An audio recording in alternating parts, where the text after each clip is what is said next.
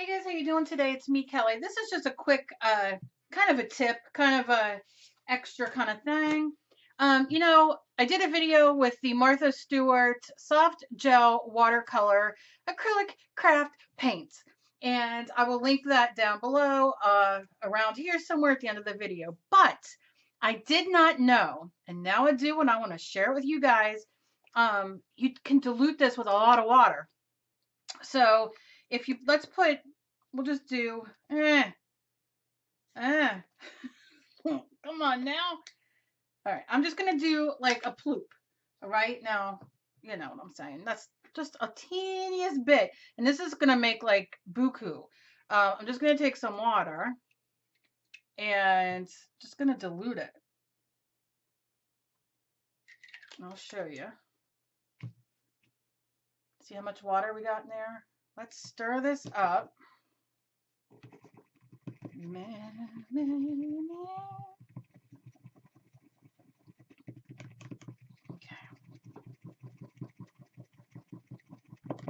And you can see, I mean, it's like, it's like water, literally. Okay. Then take your, uh, what did I do with my brushes? There.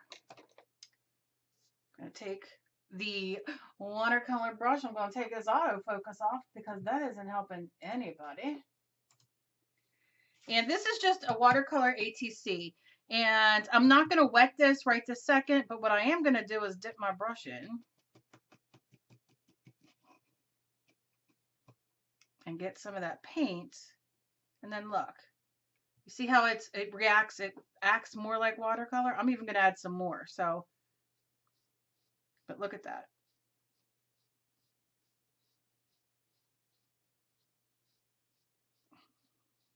Yeah. You can definitely see more of the watercolor properties. Now I'm going to stick a little bit more water in here. Just to thin it out a little bit more because this is a little goes a long way and I'm all about that. All about it. Okay, so stirring it and then I'm to I'm to dab off my brush. I'm to make sure I get pigment, you know, some of the thing and dab it off. And now let's go. And you can see it's even lighter, but it depends on the color that you want. You know? But I mean, you look at that. You get two different depending on how much water. So I love these little cups. Um, you can get these online. You can get them. Where did I get these? A dollar store maybe. Um, but these are great because you know maybe you want to do like an ombre kind of effect or um, you know, different stages of the color. So maybe you want this to be that light, but then you want a darker so you can kind of go in and put the colors. Um, also, I think what would be great is the containers that you can get either travel size or whatever uh, that come with lids that you can mix up your colors and save them obviously right um, but yeah look how cute so let's do let's do pink let's just try and I'm gonna do less paint oh, let me shake it I'm going to do less. I don't know if you need to shake it or not, but I am. I mean, this is delicious. Just a plop. And that's all she wrote. See? I mean, that's a little bit. Now, before I do the um, water, I'm going to dip this in and just get it straight on. And let's we'll go here. Look how thick that is, how opaque. Still see-through, I mean, still uh, translucent see-through, listen to me. Still translucent as a watercolor, but you can definitely see it's not necessarily, you know, watercolor like these other ones. But when we add some water, just a little bit, just a little bit. This excites me. These paints excite me anyway, but now mind you, I didn't wipe off my brush, which I should have. Just make sure that you really stir these and get those little, uh, that paint done in those little pieces, because sometimes little pieces just like to float. I like to call them floaters. But you can see my brush wasn't clean, so I'm not getting exactly the pink that I want, but I'm going to, you know, squeeze it out And then I'm going in. And look at that. That's light. And remember, these dry permanent. Oh, you can't even see that on the camera that well. But you have some down there. But there you go. Now, see, now look, I put too much water because it's not even, it's not even going and showing me much. And how do you like that? I wouldn't even have known that.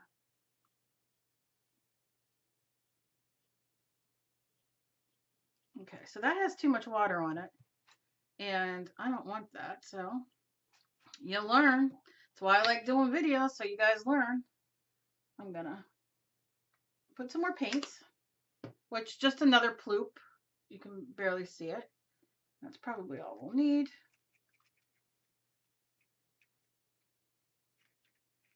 Now, I shouldn't I shouldn't tell you my little tip here, my little what I would do. If I sometimes I would sometimes I take my acrylic paint. Oh Again, this is better. Sometimes I take my acrylic paint and it might be too thick or I want it a little thinner. And I will add a little bit of Mod Podge to it. And I will do Mod Podge matte if it is a matte. And then obviously I'll do Mod Podge gloss um, if it's a gloss to kind of thin it out a little bit. Um, sometimes I'm very cheap and, um, you know, I want my paint to last a little bit. So sometimes, you know, I will add that in there to kind of thin it out. Or if I thin it out too much, which I have done, I'll add some of the Mod Podge to thicken it up a little bit. So, you know, take it for what it's worth. That's what I do. All right. Now you can see a little better. Can you see it? It's still light, isn't it? It's crazy. Maybe I'm taking too much off my brush, but I don't want it to be like drippy, you know?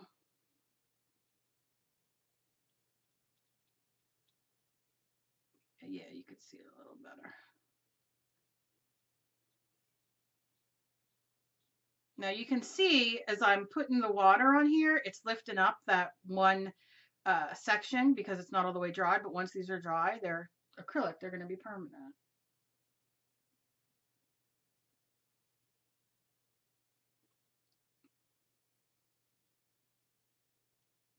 And you can definitely see so much darker.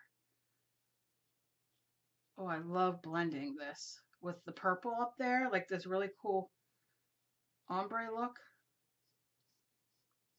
on this darker. Oh. Well, my four minute video turned into something more. All right, let me just show you how cool this looks. And this is great for a uh, ATC background, especially if my light wasn't being such a pain.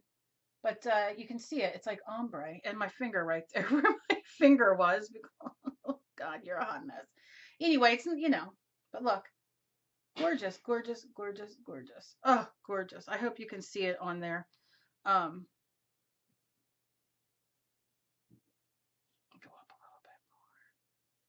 And of course, you can add more color or what have you. Now, what I want to do is I want to take a little spray bottle and I'm going to come up here and give it a spray. Now, I should have a, I should have done that with a little bit of alcohol to make it like alcohol inky looking, which I'll do another video of. Yeah, look at that. Oh, oh, Look at that. Look how pretty. Except my major flub there with my thumb, which I'm doing here too. But uh, look at that, how pretty. And it kind of gives you those, um, you know, a little bit of a splattered effect. Now you could put salt. We can do all kinds of playing stuff, which we will, but not in this video. Let me just dry it real quick.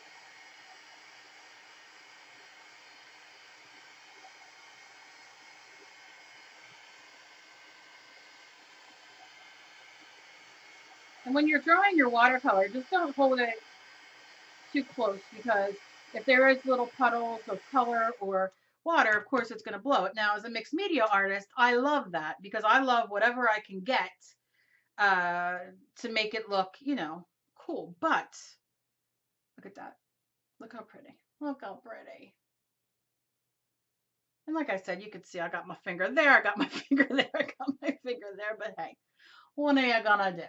Beautiful, gorgeous, I love it. And like I said, once this is dry and all, it becomes permanent. So what I'm gonna do is I'm gonna leave these sit here overnight and I'm gonna see what they do, how they dry, if they dry, if the water evaporates and it goes back to color, just because I want to know, I want to know what I can do with it. And like I said, this is a nice beginning for a back um, ATC card. We can do resist, we can do so many things on here, but this is just a little start. I wanted to show you that, you know, watering this paint down, you get a lot of bang for your buck, and it is going to be a lot of fun to play with this way. So that's it. As always, please be kind to each other. You never know what battle somebody else is fighting. I love you guys so very much. We are working on progress, not perfection.